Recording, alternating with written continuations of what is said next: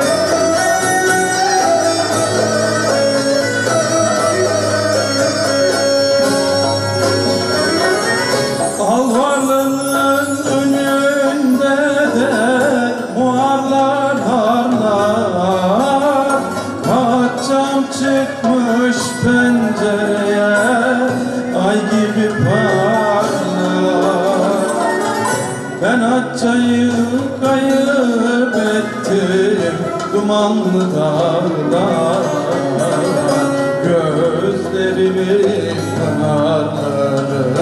durmadan çalar Ben Akçay'ı kayıp ettim dumanlı dağlar Gözlerimin pınarları durmadan çalar.